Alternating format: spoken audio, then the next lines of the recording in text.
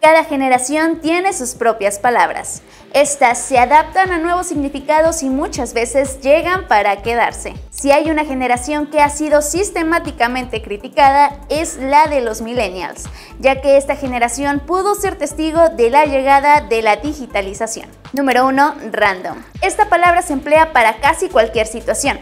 Significa que algo pasó o está sucediendo de forma muy aleatoria o al azar. 2.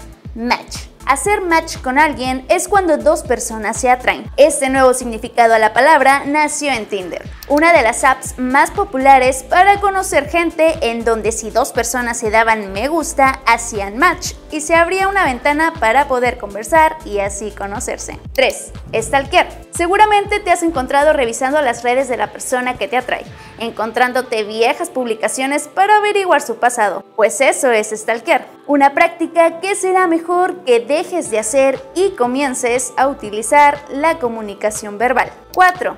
Chipear. Básicamente se trata del deseo preferencia porque dos personas sostengan una relación. No se trata de juntar dos personas enamoradas, sino de formar parejas imaginarias. La expresión deriva de la palabra inglesa relationship, de donde salió to ship, que es chipear en la versión naturalizada de nuestro idioma. ¿Utilizas estas palabras? Mi nombre es Luisa Rodríguez y esto es Inciso 1.